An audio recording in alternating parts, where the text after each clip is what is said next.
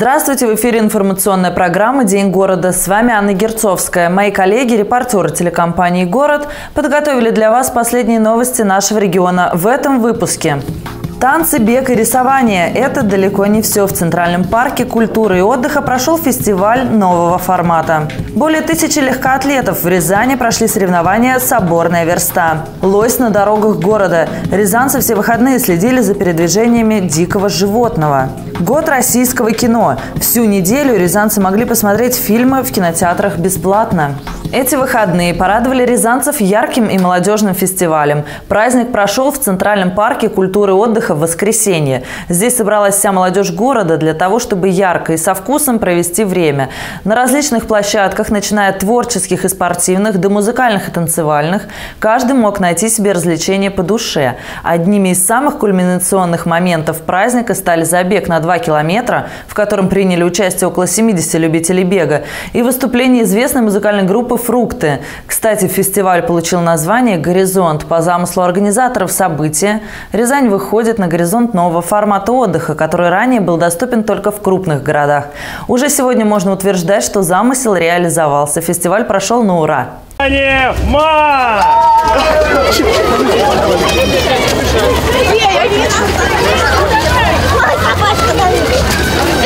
Это мне понравилось, супер классно бежать э, со всеми в едином порыве, очень много энергии, огромное количество просто эмоций. Э, всем советую, здорово. В таком формате мы первый раз бежим, потому что парных забегов не было, а в паркране мы периодически бегаем. Часто бегаем каждую субботу здесь в парке, обязательно, каждую. Вот. Что будет, да? Ну да, какой пробег, э, не знаю, надо в компьютере посмотреть. И от сегодняшнего кайф. Хорошо пробежали. Э, первый круг дался очень легко, но на втором потяжелее. Да, мы именно на него и пришли. Вот получили воду, вот эти брелки, брелки. Надеемся, что-то выиграли, ждем награждения. Здесь э, представлены работы разных рязанских художников э, в разных стилях. Там даже представлены э, изображения города Рязани, разные портреты. А здесь можно порисовать вместе с детьми, можно нарисовать что-нибудь с натуры, можно нарисовать фестиваль и забрать рисунок себе или оставить его на память. Замечательные картины. Мы сходили, посмотрели от подруга художница. Очень оценила.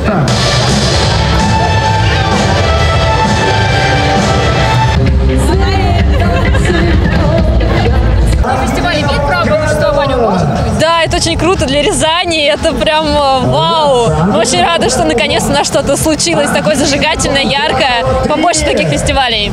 Такие последние, наверное, тепленькие вечера, осень близко, или, как говорится, осень soon. Я поздравляю, подобному завидую твою удачу. Пусть она тебе вернется. Да, Весело, интересно, есть что посмотреть и послушать. Участвовали? Неправильно. Вот сейчас участвую в конкурсе лотереи. Конечно, побольше бы таких. Я бы каждый день ходила бы.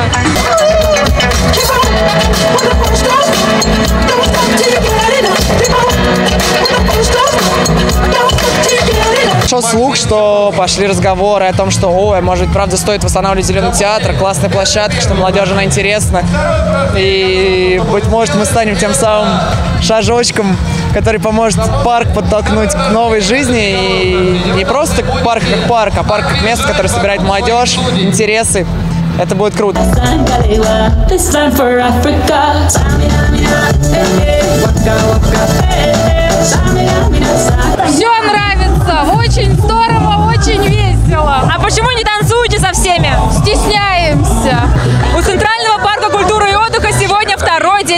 Рождения. Прямо сейчас за моей спиной фестиваль настоящий, веселый и очень молодежный.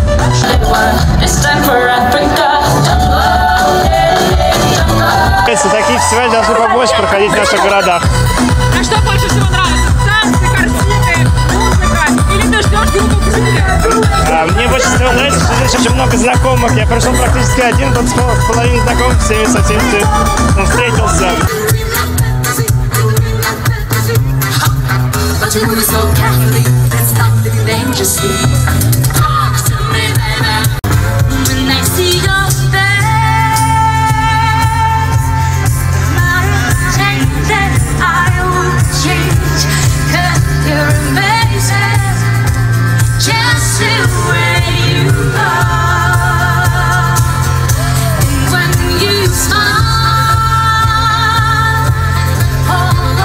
В эти выходные легкоатлеты со всего региона приняли участие в соревнованиях, которые прошли в центре Рязани. Состязание «Соборная верста» проходит в городе уже в 23 раз. Спортсменам нужно было преодолеть дистанцию чуть больше километра, а именно одну версту. О том, кто победил, а также как все проходило, расскажет Артем Бухвалов. Это уже 23-й по счету соревнования, и с каждым годом участников становится все больше. Погода в этот день преподнесла неприятный сюрприз участникам забегов, однако это обстоятельство не испортило отличного настроения спортсменам. Погода нас не пугает. Хорошая погода, чуть-чуть небольшой дождик, легко бежится. А самые юные участники не только оказались физически готовыми преодолеть свою версту, но и разработали свою тактику. Сначала ускоряемся, потом ну, спокойно бежим вон там, а потом Самым возрастным бегуном стал Валерий Петровский, который в свои 79 лет легко преодолевает марафонские дистанции. Молодым людям посоветовать мужество им уже сейчас и удачи. Традиционными участниками соборной версты являются студенты и преподаватели Рязанского медицинского университета. В этот раз свою дистанцию пробежали 60 человек во главе с ректором вуза Романом Калининым, который в свою очередь также пробежал свою дистанцию. Не, очень доволен, на самом деле, хорошо бежалось, э, хорошая погода и дышалось легко, поэтому очень, э, погода только плюс была, на самом деле. В этом учебном заведении уделяют большое внимание здоровому и активному образу жизни. И 14 сентября на стадионе «Олимпиец» студенты медуниверситета вместе со всеми желающими сделают зарядку с чемпионами. В этот раз в большом спортивном событии города примет участие более трех тысяч человек. Друзья, знаете ли вы, что зарядку с чемпионом придумал именно наш университет? В том году на студенческом форуме в Питере, где были студенты всех медицинских и фармацевтических вузов, эту зарядку повторили за нами. Поэтому приходи 14 сентября. Мы стараемся, у нас много программ. Мы программы в бассейне, большие программы по физвоспитания. Мы организуем много секций разных. Сейчас мы, например, а, реализуем проект организации хоккейной команды в университете. Достаточно сложно, но я думаю, что у нас это получится. Здоровый и активный образ жизни – это заряд, который поможет всем двигаться к поставленным целям. Это и доказали участники Рязанского забега. Полезен для здоровья, бегать что ли. Развивает очень хороший вид. Очень сильный, выносливый человек. Мне уже как бы две бронзовые, но это ничего. Ну, конечно, мне уже и радость. Я уверена, что я не выдохнусь на первом же я уверена, что именно я стану победительницей этого забега. А тот факт, что несмотря на погоду на старт вышло тысяча человек, служит доказательством того, что наш город продолжает лучшие спортивные традиции. Еще одно происшествие выходных, которое получило большой резонанс среди горожан. Жители Рязани, начиная с пятницы, фотографировали лося, который свободно прогуливался по дорогам города. Информация о животном перевернула весь интернет. За это время в сети появилось несколько фотографий Сахатова, видео его передвижения и масса сообщений о координатах расположения лося. Люди как будто следили, что будет дальше. Его видели на Московском шоссе, в Борках, на проезде Шабулина. В общем, животное обошло весь город. О судьбе лося до сих пор неизвестно, но по некоторым неподтвержденным данным лося застрелили сотрудники Рязанской исправительной колонии номер 2, которая расположена в поселке Ворошиловка. По словам представителей Федеральной службы исполнения наказаний, эта информация ложная. Там пояснили, что сотрудники колонии действительно видели лося. В этот момент он купался в озере неподалеку от исправительного учреждения. После этого животное вылезло из воды и побежало дальше. Куда отправился лось, неизвестно. На этом его следы пока что теряются. К другим темам. 2016 год объявлен годом российского кино. Именно поэтому по всей стране проходят различные кинособытия и специальные акции. Рязань не стала исключением. В нашем городе все желающие могут смотреть лучшие отечественные фильмы совершенно бесплатно. Подробности знает Наталья Новикова. В минувшую пятницу в нашем городе стартовала неделя российского кино. От телеканала ТВ-1000 «Русское кино» и рязанского оператора кабельного телевидения «Видикон». Кинотеатр «Пять звезд» распахнул свои двери для ценителей качественных отечественных фильмов последних лет. Началась неделя с картины «Ирей Сан. Исповедь самурая». Помимо самого просмотра картины на широком экране, зрители встретились и с ее создателями – продюсером Любовью Калинской и актером Степаном Самойленко, которые представили фильм перед показом. В фильме «Рейсан» это идея Ивана Хлобыстина, которая возникла много лет назад.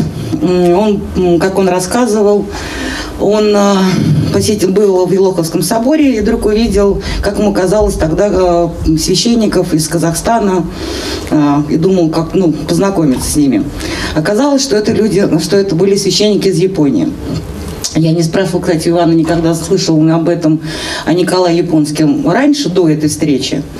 Но в любом случае, после этой встречи, после именно этого общения, возникла идея создания фильма «Ериса». Степану Самойленко досталась непростая, но очень интересная роль душевно больного Макарки. По словам актера, было непросто вжиться в образ и проникнуться ролью. Зритель должен поверить, что ты действительно умственно отсталый и при этом такой добрый, и как бы обо всех забочишься. Я специально для этого посмотрел несколько картин таких известных. Вот там с Леонардо Ди Каприо есть а, фильм, называется «Что гложет Гилберта Грейпа». Вот. Посмотрел, конечно, всем известного Форест Гампа. Постарался что-то вот как-то свое туда привнести. Ну, не знаю, получилось, не получилось. Но, наверное, вот это было самое сложное – проникнуться в этого персонажа.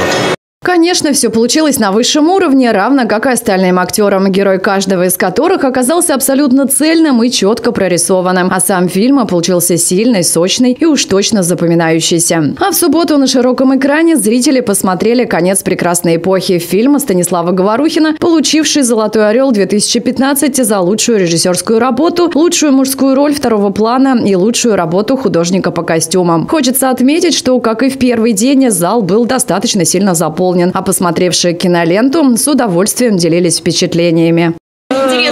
Фильм, очень понравился. Своеобразный, да. А почему именно на это кино пошли? Мы на все сходим. То есть вы будете всю неделю ходить? Будем. Я, автор меня заинтересовал. Да, Говорухин. А вообще, как считаете, это хороший день для нашего города?